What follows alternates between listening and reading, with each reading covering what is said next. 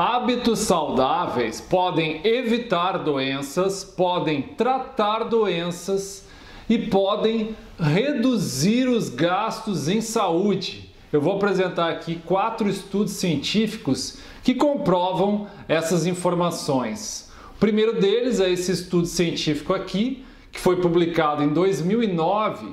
Esse estudo mostrou que as pessoas que não comem alimentos de origem animal tem taxas muito menores de diabetes. As taxas encontradas nessas pessoas são de 2,9% de casos de diabetes, enquanto que aquelas pessoas que comem alimentos de origem animal têm mais de duas vezes essas taxas, elas têm taxas de 7,6% de casos de diabetes. Então, se você não tem diabetes, e se você não come alimentos de origem animal, as suas chances de terem essa doença são bem menores. Segundo estudo que eu gostaria de apresentar é esse estudo que foi publicado em 2002. Esse estudo avaliou o uso de uma dieta baixa em gordura sem alimentos de origem animal.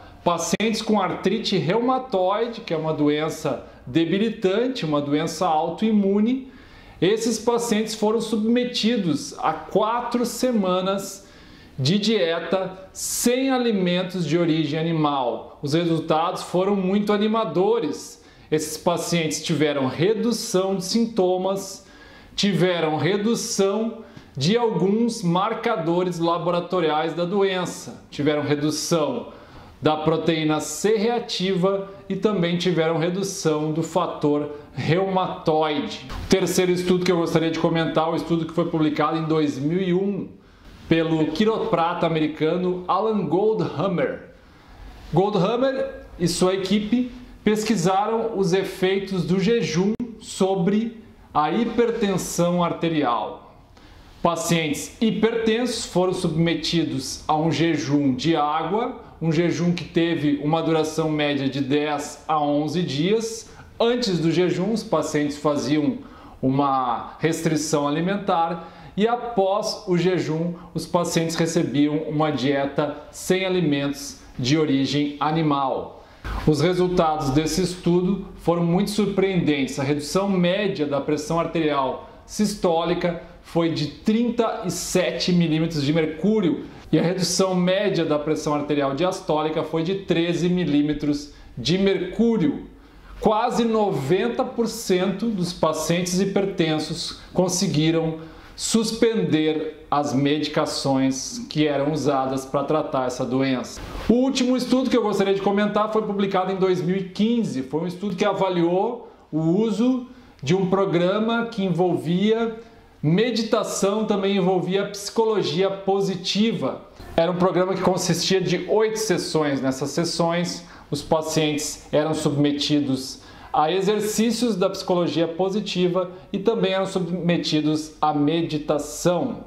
Esses pacientes foram avaliados ao longo de um ano e foi constatado o seguinte: houve uma redução de 43% eu repito, 43% dos gastos em saúde.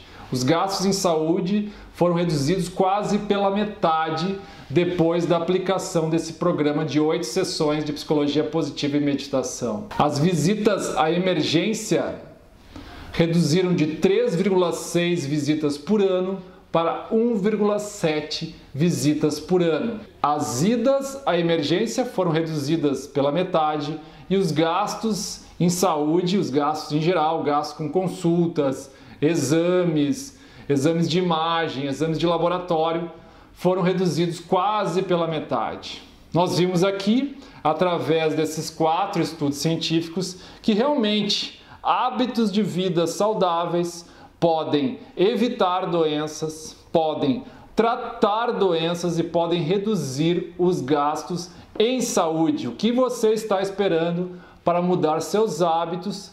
O que você está esperando para evitar doenças, tratar doenças, caso você tenha uma, E o que você está esperando para reduzir seus gastos em saúde? Adote novos hábitos, adote hábitos saudáveis. Se você está interessado em saber um pouco mais sobre hábitos saudáveis, recomendo que você conheça o meu programa Saúde Total. O programa Saúde Total é um curso online sobre estilo de vida saudável, no qual nós nos aprofundamos um pouco mais nos hábitos de vida que podem fazer a diferença para a sua saúde. Nós falamos sobre alimentação, atividade física, sono, atitudes positivas, entre outros hábitos saudáveis. O link do programa Saúde Total está aqui na descrição do vídeo. Desejo que você tenha uma excelente saúde, tudo de bom, até o próximo vídeo.